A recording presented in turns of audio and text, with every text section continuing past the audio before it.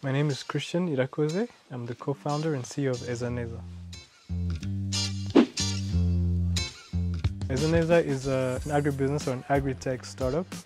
Uh, we grow fruits and vegetables like strawberries, uh, tomatoes, cherry tomatoes, but we do so in a very sustainable and efficient manner. We use a technology called hydroponics, where we grow without soil, and by this method we save up to 90% of the water that would have been used in comparison to open field.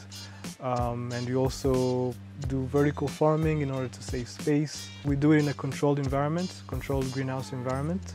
So essentially agriculture done with implementation of technology. Ezaneza means grow well, so that's what it stands for and that's what we try to do. I'm going to give you guys a tour of the uh, greenhouse.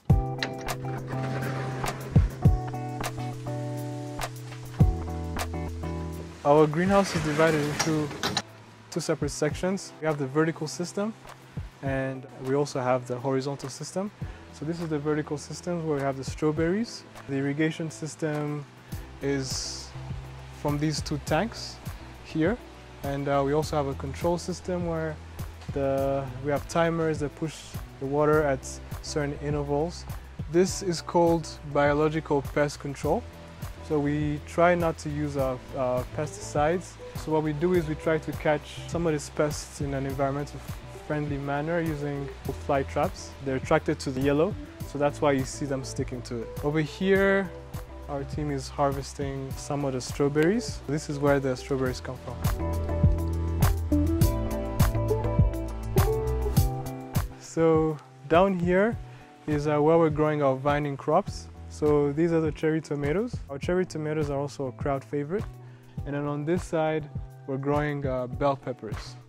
Uh, so bell peppers are also a popular horticulture crop. And the interesting thing about our system is we actually recycle the water. So we save a lot of water like that and uh, we're able to save also fertilizer and uh, grow more, more efficiently. So that's a short summary of, of uh, our hydroponic greenhouse. This whole thing was inspired from a conversation I had with my brother and uh, we were looking to get into the agriculture sector but it was faced with a lot of challenges and uh, we figured that if we are going to get into it, we would have to do it using technology in order to overcome those challenges.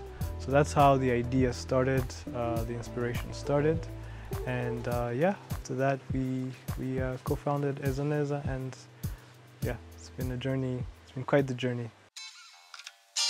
This is something that we've just recently started and really getting familiar with crop science, learning what a strawberry needs, learning the different pests and diseases and how they can affect the plants. So really being hands-on and making sure that they're getting the right amount of water, they're getting the right amount of nutrition, uh, they're getting the right amount of sunlight. I had to sort of learn on the fly. It slowly starts to get easier and we're improving and we're growing. The more you learn, the more passionate you become about it.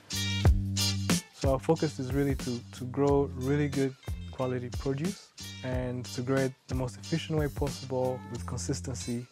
Um, if we can do that, then we believe then that we can then go to the next level. That's what we really try to focus on. And if we can do that very well, then I think um, sky's the limit.